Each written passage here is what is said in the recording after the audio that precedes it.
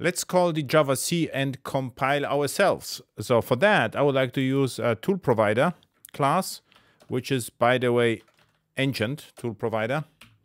Uh, get system Java compiler. It was created with JDK16.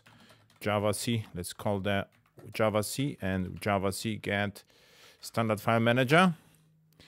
Um, and because the API is ancient, I have to pass nulls to indicate that I'm not interested in the parameters. And nowadays we will use var args or maybe even a Java record, for instance.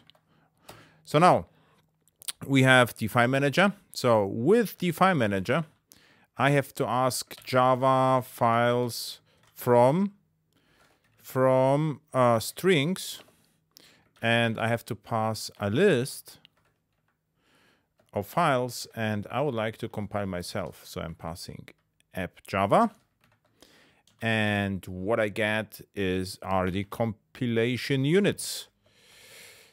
Now, almost done. I now have to ask the javac to uh, create a task and what I'm interested in is the second parameter is the file manager and the last one are the Java objects. So FM is the file manager and the last one are the compilation units.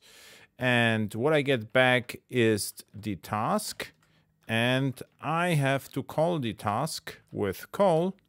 What I get back is the result, result, and the result. Let's print the result out. This is just true or false, a boolean result. Okay, now let's check. ls, so should be only Java. Here it is. Now let's run the thing and true, and we compiled ourselves.